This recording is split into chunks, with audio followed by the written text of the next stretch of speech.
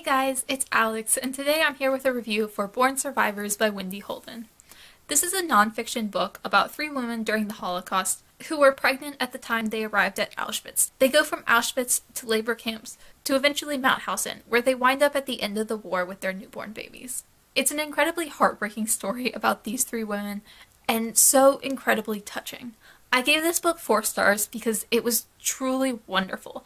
I picked it up at random from the library and was not really surprised, but incredibly happy with what this book turned out to be. It was so fascinating. It covered these three women from birth to death. So it was like mini biographies of each one. It didn't just focus on the time during the Holocaust, which I thought was definitely for this book's benefit. A lot of books like this do focus solely on the time of the Holocaust, whereas because this book covered each of the women's lives in their entirety, it felt like it had a lot more depth and a lot more interest. I was utterly fascinated by their stories. This was such a hard book to read, and I think every Holocaust book is like that, so I don't know that that would surprise anyone. But it's also hard because in each Holocaust book I read, I read a lot of World War II literature, or at least more than the average person, probably. It never fails to surprise me how horrible it is, and I think I don't think it will ever stop surprising me just how awful everything was. And this book was so heartbreaking because of that. It was so hard to read because of all the specific details. Because these three women survived, so you weren't just getting one story in a memoir or one fiction book, you were getting the accounts of these three individuals who survived, sometimes with friends of their own. And it was just utterly worthwhile. I had about three points of flaws for this book, which is why I didn't give it the full five stars, and then I'll get into talking about some more of the positives at the end. But I think my biggest issue with this book was that a lot of the information felt very basic, especially at the beginning. Wendy Holden summarized a lot of basic events leading up to World War II, leading up to the Holocaust, and as someone who has read a fair amount of World War II literature, it was just kind of boring because she wasn't going in depth on any of these things. She was just sort of summarizing in case you didn't already know. But I really don't need a summary on things like Kristallnacht or the Anschluss, just because I already understand those things, at least to the degree that I need to to read a book like this. And there were just pages and pages of that, especially towards the beginning, so that was a little bit dull, a little bit dry. Really not what I picked this book up for. That did get better later on. I think the first chapter there was like 15 solid pages of just background information that you would need to understand how the Holocaust came to happen, but it was very boring and I really struggled with that. Like, if you're going into this book knowing absolutely nothing, I think that would be helpful, but as someone who does already know most of that information, at least most of the basic information, I found it boring, and I think if you pick up this book, that is something you have to know going in. That it, may be boring at the beginning, but it does get a lot better after that.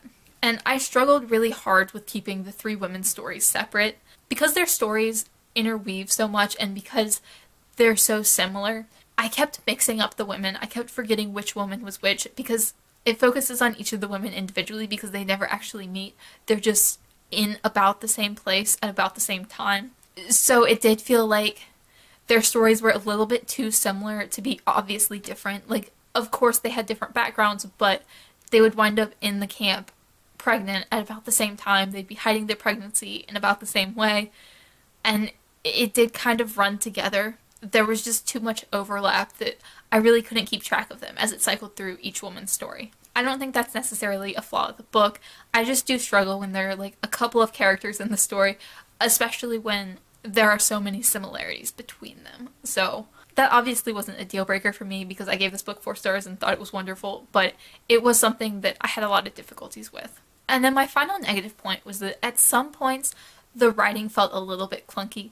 It felt like she was trying too hard to make the prose beautiful when in a nonfiction book like this, I was kind of just looking for it to be very clear and straightforward. I don't think she succeeded very well in making it her writing seem elevated or more literary. It just seemed a little bit trying too hard. I remember there was one specific point where she used like a fair number of adjectives that weren't really necessary and I do feel like her writing could have been just like a little bit more basic, a little bit less descriptive almost, because she was describing things that were very subjective, like from her point of view.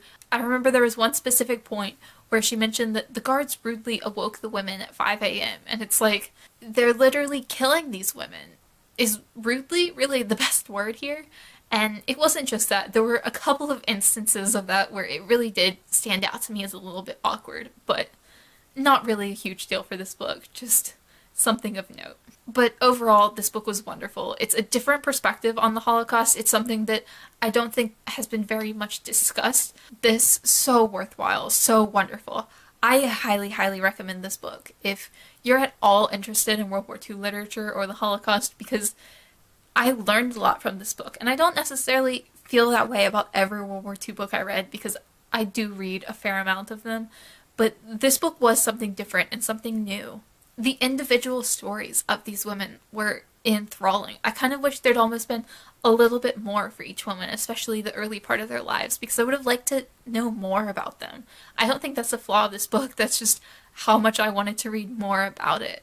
I read a lot of this while I was at my boyfriend's, and I never wanted to put it down. He'd be like trying to talk to me, and I'd just be like, uh huh, yep, just casually flipping through this book. It was really that wonderful. It only took me two or three days to read, and it was just such an amazing experience. It's definitely a slower read because this is hard nonfiction. It's not like narrative nonfiction. It does read a lot more like a biography, but it's still very easy, very straightforward, and simple to read. I don't think you have to be an avid nonfiction reader to get through this book. I do think it's straightforward enough that the average person could get through it very easily. One specific thing I really liked about this book was that it covered the post Holocaust lives of these women. I did mention that it covers their lives, birth to death, but specifically, it does talk about in detail the time period after they left the concentration camps, after they left Mauthausen. It talks about how they went about returning home to their families, how they went about getting health care for their children, how they went about getting on with their lives after their entire communities were killed, their whole families were killed. It's something that I don't feel like is discussed enough within Holocaust literature because that is such a big part of it. It's not just the trauma they went through in the camps, but also the trauma of afterwards, where a lot of the people in these countries were still very anti Semitic. I think it's mentioned specifically in this book that about 1,600 Jews were killed after the Holocaust and after World War II ended for anti Semitic reasons. And it was so heartbreaking. These women would return home and try to find their husbands, they try to find their parents or their families, and just no one would be there.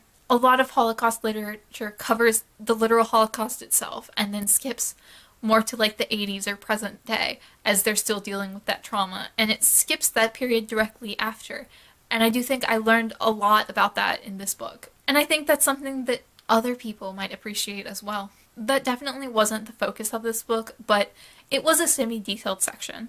I really just can't recommend this book enough. I thought it was utterly wonderful. I thought it was fascinating. And I think it's something that a lot of people would really enjoy. I've never heard anyone else talk about this book, and I really think it's a worthwhile read. I learned a lot. It's so hard to read. Like, obviously, it's not for everyone because it does detail a lot of the traumas of what happened in the camp. So, there's a lot of trigger warnings for this.